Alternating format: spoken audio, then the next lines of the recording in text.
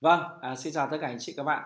À, bài học này và vẫn là một cái bài học về xử lý khủng hoảng truyền thông thì à, tôi sẽ nói về một số những cái hậu quả của khủng hoảng truyền thông à, nói chung và khủng hoảng truyền thông trực tuyến nói riêng à, có thể xảy ra đối với à, doanh nghiệp, đối với thương hiệu, đối với nhân hiệu của các anh chị và các bạn, được chưa ạ? À, thực tế thì các bạn đã um, nghe ở trên mạng xem ở trên mạng và trong các cái ví dụ tôi cũng đã nói. Các bạn cũng đã biết rằng là hậu quả của khủng hoảng truyền thông uh, trực tuyến uh, hay là khủng hoảng truyền thông nói chung uh, nó nghiêm trọng và nó ảnh hưởng như thế nào tới doanh nghiệp rồi đúng không ạ? Vâng thế thì trong cái bài học này thì tôi sẽ đưa ra một số những cái khía cạnh một, một số những cái mức độ mà có thể ảnh hưởng đến cái ừ, hậu quả nó gây ra. Thế thì à, thứ nhất là nó sẽ ảnh hưởng trực tiếp đến tài chính. À, tài chính là như thế nào? Ví dụ à, như là các anh chị bán hàng thì doanh số sẽ giảm đúng không? À, thậm chí là các anh chị thua lỗ các anh chị phá sản đóng cửa doanh nghiệp do khủng hoảng. Bởi vì là lúc này khách hàng tẩy chay không bán được đối tác tẩy chay không bán được à, rồi thì chúng ta phải gặp phải những cái vấn đề về lao lý vân vân. À, rồi thì à, cổ phiếu cổ phần của chúng ta bị giảm giá. Đấy rồi thì à, khách hàng trả lại hàng vân vân rất nhiều các vấn đề liên quan trực tiếp đến tài chính. Nếu mà đấy là đối với là doanh nghiệp hoặc là thương hiệu sản phẩm dịch vụ gì đó. Thế còn đối với nhân hiệu tức là một cá nhân cũng có ảnh hưởng đến tài chính. À, tôi là một ngôi sao showbiz tôi là một à, ngôi sao ca nhạc hay là phim ảnh. Thì à, tôi bị ảnh hưởng uy tín thương hiệu thậm chí không ai mời tôi đi hát nữa không thể ai mời tôi đóng phim nữa đúng không ạ? Như gần đây các anh chị thấy là à, có một cái nam ca sĩ bị à, tố cáo về cái hành vi là là tấn công tình dục đúng không ạ? Và như vậy thì à, anh ta cũng bị mất rất nhiều uy tín và mất rất nhiều các cơ hội kinh doanh cơ hội à, biểu diễn. À, đấy là cái cái cái cái giá phải trả cái hậu quả phải trả khi mà khủng hoảng truyền thông xảy ra được chưa ạ? Thì cái hậu quả thứ nhất tôi muốn nói đấy là hậu quả về mặt tài chính đấy hậu quả thứ hai là hậu quả về mặt xã hội đúng không ạ? Xã hội sẽ phải gánh chịu cái hậu quả về khủng hoảng truyền thông khi mà à, một cái thương hiệu một cái doanh nghiệp hoặc một cái nhân hiệu là nó bị ảnh hưởng. À, nó gây ra những cái vấn đề về sói mòn lòng tin vấn đề về nhức nhối vấn đề về à, đạo đức vân vân. À, chẳng hạn như là à, à, đối với cái thương vụ à, à, đối với cái vụ việc khải siêu chẳng hạn đúng không? Thì người ta lo lắng là ở ờ, liệu rằng trên thị trường có còn à, những cái doanh nhân đang lừa dối khách hàng như vậy nữa không? À, liệu rằng trên thị trường có những cái sản phẩm vẫn còn hàng giả hàng nhái như thế này nữa không? Và thực tế rằng ở thị trường Việt Nam thì điều đấy có thể xảy ra rất là thường xuyên và người ta bị mất lòng tin đúng không ạ? À, một cái thương hiệu rất là lâu năm uy tín mà còn lừa dối như vậy thì những cái thương hiệu khác thì sao? À đấy đấy chính là những cái câu trả lời những cái lo lắng à, mà xã hội sẽ phải gánh chịu đấy là hậu quả về mặt xã hội. À, đối với doanh nghiệp cũng phải à, gánh chịu đối với cá nhân cũng phải gánh chịu. À, hai bên đều cảm thấy rất lo lắng về nhau và nó gây ra những cái hậu quả tiêu cực đúng không?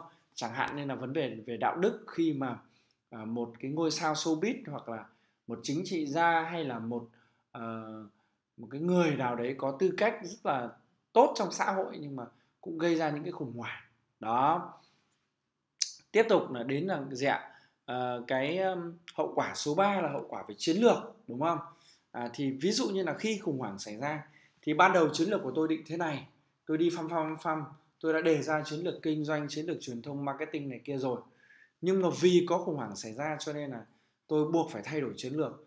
Tôi buộc phải thay đổi tất cả mọi thứ thay đổi cả về mặt nhân sự thay đổi cả cấu trúc thay đổi cả mặt thương hiệu đúng không ạ? À, tôi phải thay đổi rất nhiều để tôi có thể thích nghi được với thị trường. Đó chính là cái cái hậu quả về mặt chiến lược à, hậu quả về mặt công nghệ. Thì cái quá trình à, xảy ra khủng hoảng truyền thông nó cũng có thể ảnh hưởng đến công nghệ. Ví dụ như là à, bị ừ, lấy cắp dữ liệu hoặc là bị à, lộ thông tin người dùng hoặc là bị tấn công vào à, các phần mềm các cái à, hệ thống server website vân vân. Thí dụ như một ngân hàng bây giờ mà nó có một cái cái tin là Ờ, hàng trăm triệu uh, cái thẻ ngân hàng bị uh, đánh cắp danh tính hay là uh, lỗ hổng trên website bị khai thác uh, vân vân đúng không ạ? Thế thì cái ngân hàng đấy ngay lập tức có thể là sẽ có một lượng khách hàng đáng kể là họ sẽ rút tiền ra khỏi ngân hàng rồi họ sẽ chia sẻ những cái lo lắng của họ trên mạng xã hội và nó tạo ra một cái làn sóng mà uh, không sử dụng dịch vụ nữa vân vân thì đấy cũng có thể là những cái khủng hoảng. Và à, tất nhiên là những cái tác động về tài chính tác động về chiến lược nó ảnh hưởng rồi. Thì bây giờ là vấn đề công nghệ đúng không ạ? Các bạn phải bảo mật nhiều hơn các bạn phải đầu tư cho công nghệ của mình tốt hơn. À, hoặc là à, đối với những cái hình thức mà tấn công về mặt công nghệ thì nó à, cũng có thể làm cho hệ thống của chúng ta bị tê liệt vân vân. Ừ, thế rồi thì à, chúng ta cũng sẽ bị ảnh hưởng bởi cái hậu quả đấy là cái hành vi à, của chúng ta sẽ phải à, trả giá về mặt pháp luật à, trả giá về mặt đạo đức về mặt lương tâm đúng không? À, những cái khủng hoảng đấy có thể xảy ra chúng ta phải đối mặt với cái vấn đề về pháp lý. À, pháp lý ở đây có thể là chúng ta sẽ phải rơi vào cái vòng kiện tụng à, đơn giản là có thể thắng thua và ừ, trả bằng tiền. Nhưng mà phức tạp hơn nữa thì các bạn có thể sẽ à, phải bị truy tố trước pháp luật hình sự đúng không ạ? À, thí dụ như là trong cái vụ việc à, à của thương hiệu à, Ờ, một cái thương hiệu mà trong một cái ví dụ tôi có nói đến ờ, ờ, bán cái sản phẩm là đồ về lụa cơ tăm đấy. Và tôi không nêu tên các bạn biết rồi đấy ạ. À, thì về mặt lý thuyết nếu như à, cơ quan nhà nước mà à, muốn à, à, gọi là hình sự hóa vấn đề thì tôi nghĩ rằng là hoàn toàn có cơ sở. Bởi vì cái hành vi lừa dối khách hàng à, nó diễn ra trong một thời gian rất dài. Và như ở Việt Nam thì chúng ta thấy rằng là à, cái pháp luật bảo vệ người tiêu dùng nó chưa được tốt và và à, mọi người tiêu dùng không có thói quen kiện tụng à, chỉ có thể là đưa lên để tạo ra cái khủng hoảng và doanh nghiệp bị tẩy chay rồi không bán được hàng vân vân. Thế còn cái cái vấn đề về pháp lý thì gần như là rất ít. Trong trường hợp đấy với vụ việc như vậy mà à, xảy ra tại Mỹ thì tôi nghĩ rằng là doanh nghiệp và chủ doanh nghiệp thì cực kỳ là à, phải đối mặt với những cái vấn đề cực kỳ nghiêm trọng cực kỳ bê bối và không khéo là phải đi tù à, hoặc là phải bồi thường rất nhiều tiền chứ không đơn giản chỉ việc là ok tôi đóng cửa tôi à, đóng Facebook đóng website tôi không bán hàng nữa là xong đâu. À, tôi nói các anh chị nghe à, cái vấn đề pháp lý. Tôi nghĩ rằng trong tương lai thì à, rất nhiều những cái vấn đề về pháp lý sẽ được à, à, sử dụng và pháp lý về mặt dân sự hoặc là pháp lý về mặt hình sự.